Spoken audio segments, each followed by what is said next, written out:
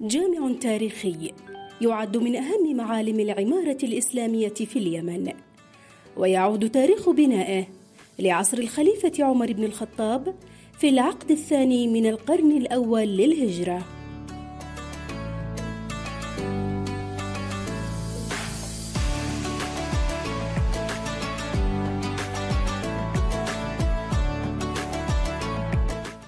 يقع الجامع الكبير في مدينة إب على ربوة مرتفعة يتم الوصول إليه عن طريق سلالم صاعدة.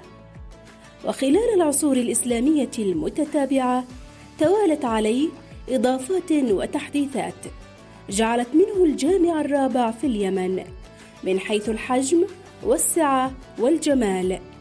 وذلك بعد جامع الجند في تعز والجامع الكبير في صنعاء وجامع الأشاعر في مدينة زبيد.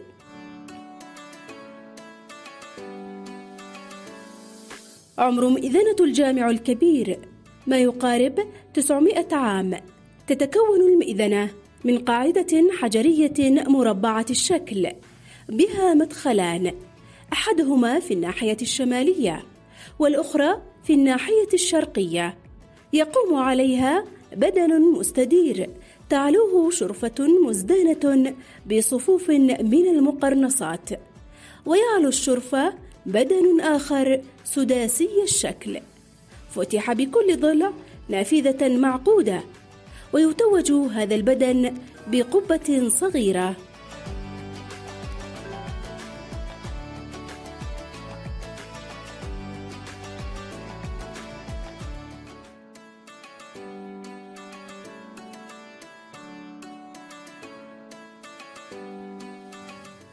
الجامع الكبير مستطيل الشكل بنيت جدرانه الخارجية بحجر الحبش الأسود والشرفات العليا بالطابوق والجص ويحتوي على ستة أبواب أحدها في جدار القبلة ويعود تاريخه إلى فترة تأسيس الجامع.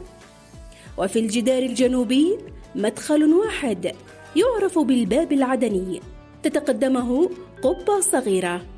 وفي الجدار الشرقي ثلاثة مداخل تتوسطها كتلة معمارية مربعة الشكل طول ضلعها ستة أمتار. تغطيها قبة حفظت فيها وقفيات الجامع ومصاحفه ومخطوطاته. يحيط بصحن الجامع أربعة أروقة بالإضافة إلى خمس غرف. كانت تعد كملحق للكتب إلا أنها أصبحت في الفترة الأخيرة سكنا للقائمين على الجامع وذلك بعد أن تعرض للحريق في العام 2002 وتم تهريب العديد من المخطوطات القرآنية إلى جهة مجهولة. الجامع مسقوف بمصندقات ذات زخارف فنية منفذة بطريقة الحفر الغائر.